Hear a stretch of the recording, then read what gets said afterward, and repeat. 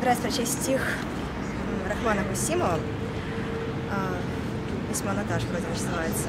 Я его плохо знаю, поэтому, если что, не сердитесь. Здравствуй, моя Наташа, девушка-полумиф. В день, когда снег заносит Александрийский столб, снова пишу письмо я, так и не получив ни одного ответа из предыдущих сто. Ставлю зиме диагноз «Снег и урви».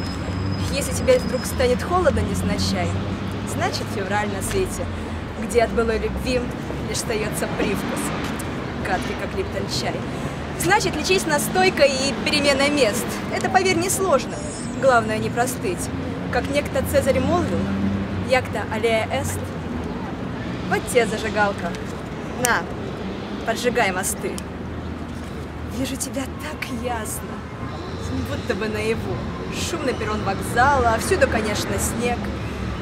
Вот ты стоишь, сжимая чертов билет в Москву и обещаешь небу все позабыть навек.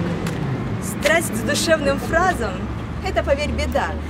Не говори навеки, слово назад возьми.